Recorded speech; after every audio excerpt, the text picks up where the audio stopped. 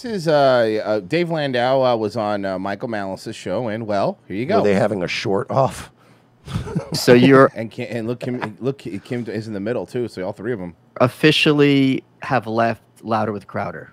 I did. I left. I left a while ago. Yeah, a little while ago. Um, I had left. Um, I think we had talked. We talked that day a bit. Uh, I had had jury duty actually when I was going to go back onto the show. They had offered fucking, uh, fucking an- Mark, you went to jury duty. Yeah, what a loser. that I turned down, and uh, they uh, he did give me a nice, you know, going away uh, thing, get you know, gift. I don't want to get into it, but it was still just. It, but they decided not to have me back on. I decided to leave, uh, and I walked from the show. It was uh, a long time coming, about a year now. It was just through various contract issues and not. It, it's an odd thing because I wanted to address it and we had talked about it a little bit. And you made a very good point to me of like I could either bring it up or have my story be told for me. Yeah. Brilliant cop move. Brilliant cop. Yeah, that's move. literally a cop move. Good job, Michael. I give him credit for that. Good job. And um, I don't. It sucks because I, I, am never one of those. I watched this peop- earlier. Michael Malice actually asked a lot of great questions. Well, let's get to them because I have 15 minutes. So shut up. Jesus. People that wants to go out and kind of. It doesn't feel like narking, you know what I mean? But it's it's one of those things where after what happened, even when I left Anthony's show, there were so many people that who drew their Anthony own. Cumia. Yeah, Anthony fucking when you mean when you people. fucking screwed over Cumia. That's what you mean. You fucking left him high and dry. Mm-hmm. Michael Malice had to know because not everyone knows who Anthony is. Everyone knows who Crowder is. people that don't know me, I used to be the co-host there. So many conclusions were drawn to what actually happened as opposed to what actually happened. And I don't want people to think that that there's things that went on behind the scenes that didn't. Yeah, so uh, just to f- to fill in the blanks, I think a lot of times, uh, and we've all experienced this on social media. I certainly have. When someone doesn't uh, get their story out and there's gaps, uh, the audiences will fill in those gaps for you and leap to all sorts of conclusions and just kind of create a narrative that doesn't at all comport to reality. Um, so a lot of times when it's it, a lot of times Well, I I don't sent always do this, but it's right? important to be like, all right. I don't know. I- I have found this is what really myself. happened, and, and so on and so forth. Do you want to talk a bit about like you know what led up to this decision on your part? Yeah, um, I guess the the beginning of it was uh, everything was going pretty well at the beginning of the show when I when first did you signed join that show? Let's talk I- about that. Okay. Uh, I joined the show in, I was first offered February 2001. Okay, Two- 2001. No, 2021. Okay, I forget.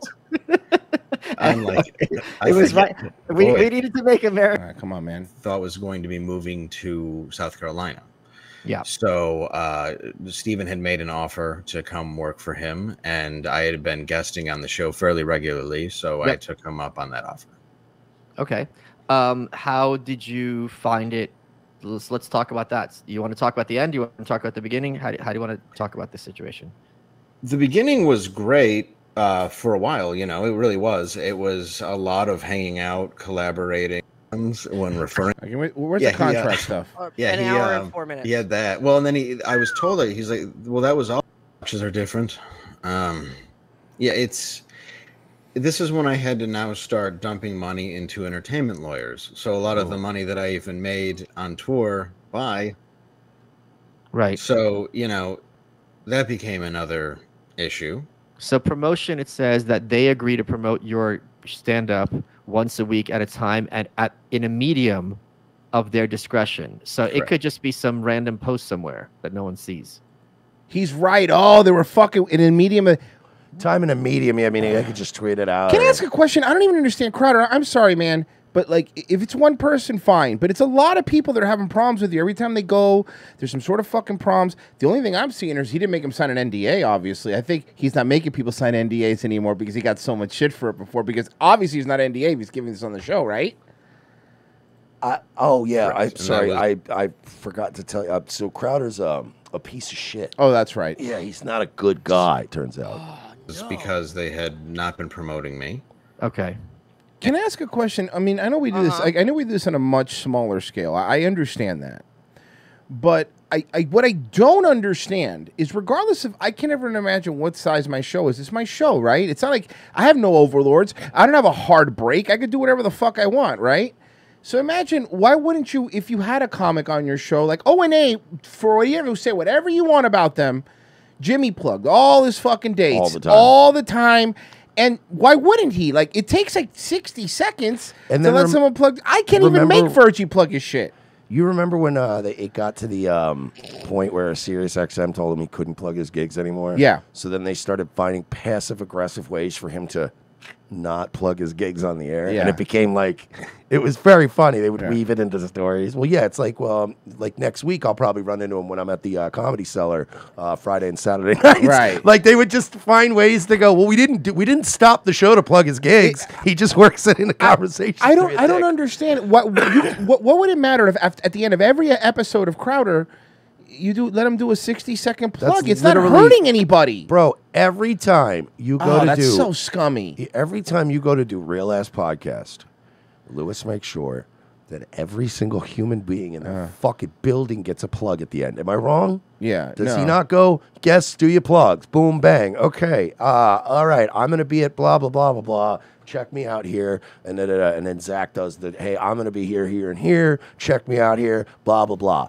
And check me out on my other show. Like, they literally, dude, if anything, Lewis fucking real ass podcast, was that an hour show? It's Yeah. fucking 15 minutes of plugs at the end. But Yeah, you know what? It's because he's a good, he can get Shannon, tell Shannon, like, tell him when your show's on. Like, he makes sure that everybody gets their fucking shit in because he understands that, you know, people don't go on these shows just to go How on them. scummy. It's so like you go on and you're like, yo, tell us where you're going to be at. Tell them where to find you. No, but forget that, Mersh. Mersh. That's one thing if it's a guest.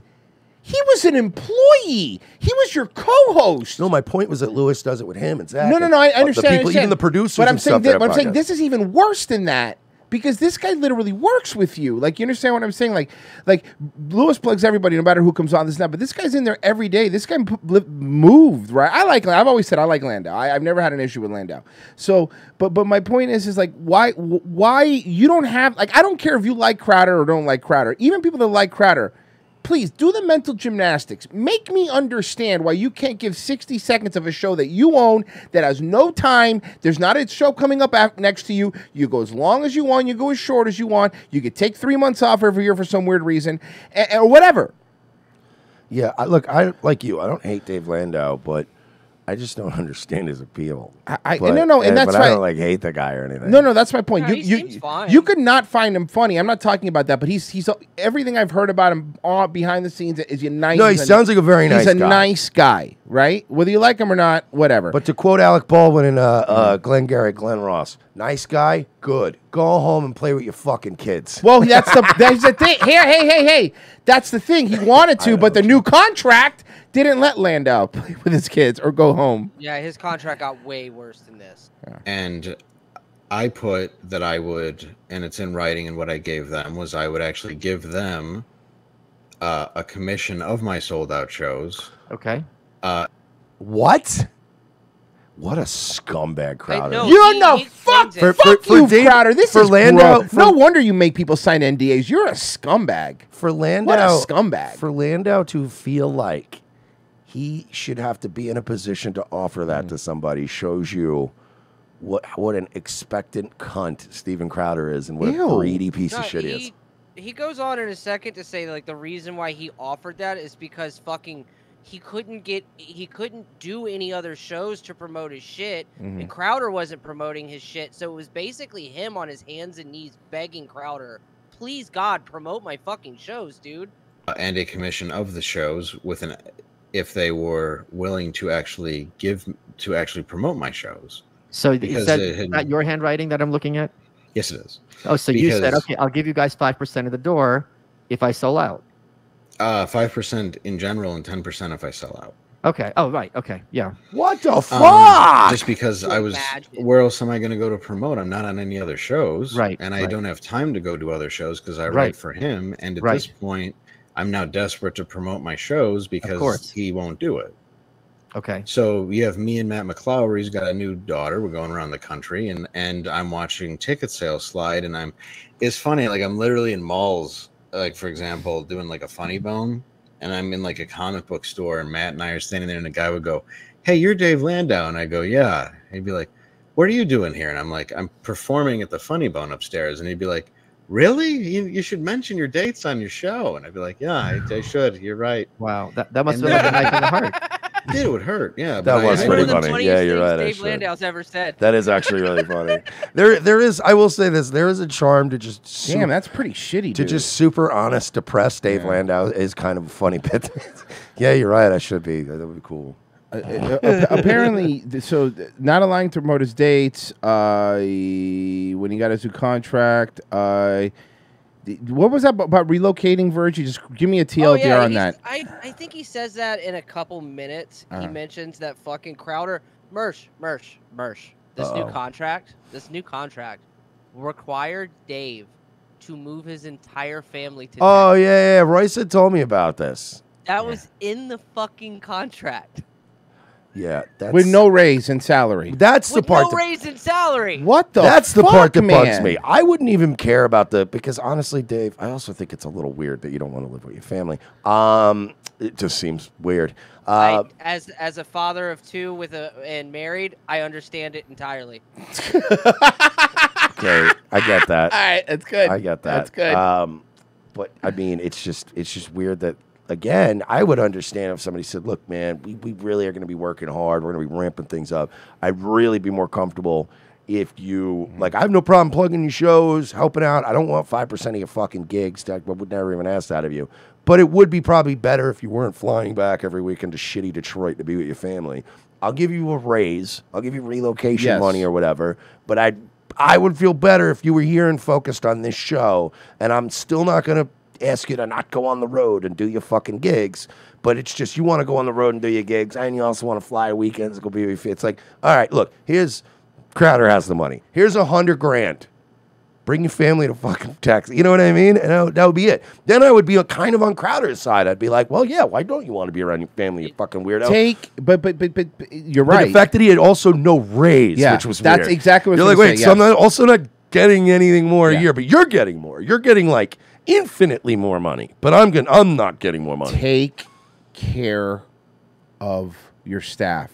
I cannot tell you how important it is to keep your fucking staff happy. Again, smaller scale, obviously, but take care of your people. Let them plug their shit. Plug their shit when they're live. Shit, man, go to our fucking locals. Every time Pessy or Virgie's on or, or any one of our, I try to, we, we always try to pop the, and there are Twitters. Hey, we read, we, why not? It costs you nothing. It costs you nothing to let Landau plug it. But the problem is when you become someone like Crowder who needs to monetize every second, every second of his life needs to be monetized. You can't even let somebody who's on your show do 60 seconds. Go fuck yourself. Crowder's in a lot of stuff that we say is cringe and this and that, and now we're kind of figuring out why not gay Jared had that NDA, and now we're also figuring out that what and after the especially after the Daily Wire thing, which by the way, now that we picked Daily Wire side, that was definitely a patented RGC hate hate hate moment, but it but it was Crowder strikes me as the kind of guy that still makes his wife pick up the tip when they mm-hmm. go out to dinner on a date. right. You know what I mean? Like I'll pay, but you know you should get the tip.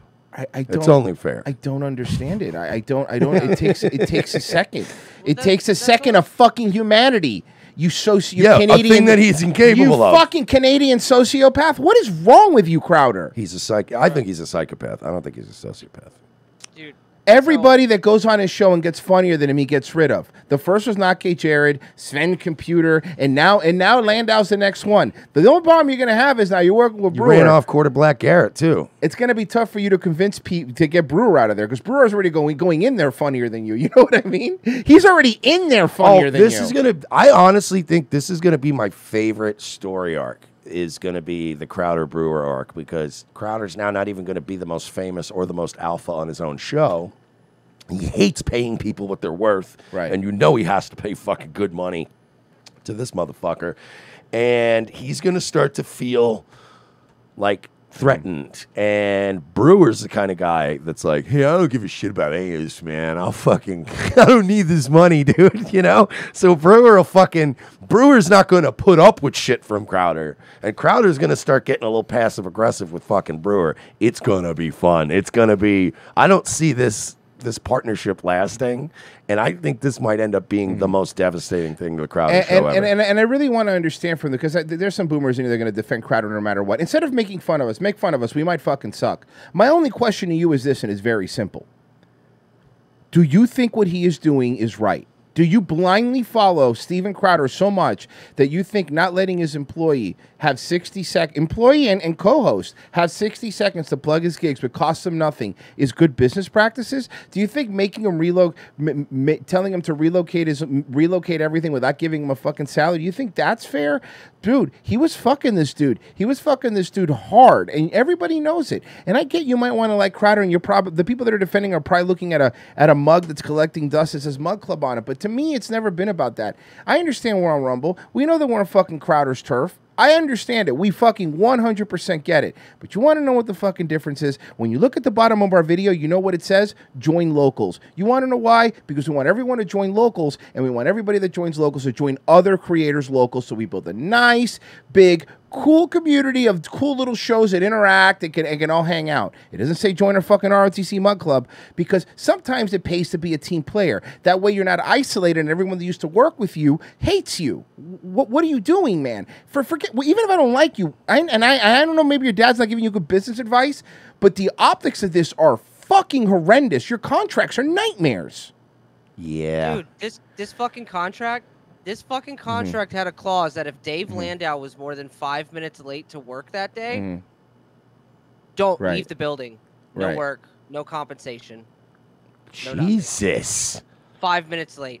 McDonald's employees don't put up with that. Wait, if they're five minutes late, they don't get paid. Is that what you just said? No, yes, yes. Five minutes late to work doesn't get paid. You know what Dave did? Because what the contract you're looking at in this video is Dave's that he wrote in shit and then sent it back to them and they said no. Dave wrote in 15 minutes. They wouldn't take it. Crowder's a fucking psycho. Wow, amen. Whatever, dude. I don't. Yeah. I don't care if you like his hot takes or change my mind. This Yeah. guy. This guy. From everything I've seen, every time we hear one of these stories, he's a piece of shit. Hey, Landau, come on the show. Garbage. Dish, dish some dirt on uh, Crowder. Hey, hey, hey, Landau. Guess you could plug all your shit over here, boy. Come on. Uh, whatever, man. I, I mean, I we, we don't have to keep talking anymore. I, I just, just, just come on, man.